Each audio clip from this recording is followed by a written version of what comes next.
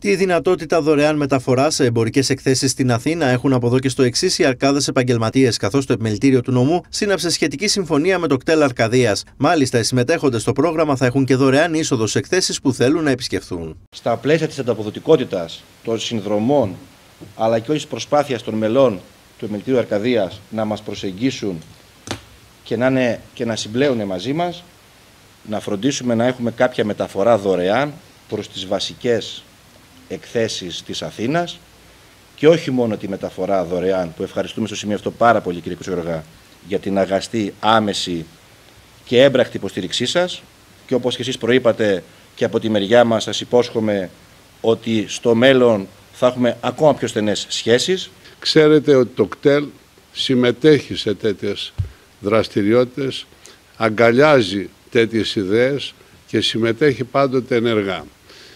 Ξέρετε κάτι ότι το κτέλ σήμερα ζει, βιοπορεί από τέτοιες δράσεις. Η επαρχία έχει ερημώσει.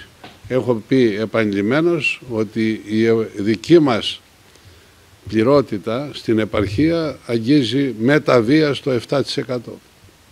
Άρα πρέπει οπωσδήποτε να στοχεύσουμε τέτοιες δράσεις οι, οποία, οι οποίες κάποια στιγμή θα συντελέσουν για να μπορέσουμε να συνεχίσουμε να προσφέρουμε αυτή τη συγκοινωνιακή εξυπηρέτηση και στην επαρχία.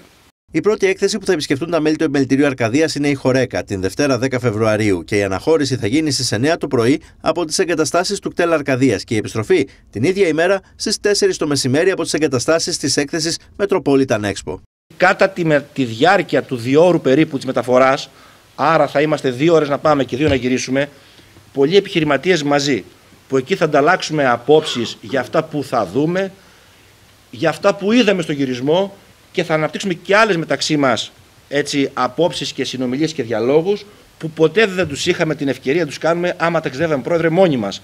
Να σημειωθεί ότι θα τηρηθεί σειρά προτεραιότητας και η αποστολή θα πραγματοποιηθεί εφόσον ο αριθμός των συμμετεχόντων είναι μεταξύ 40 και 50 ατόμων.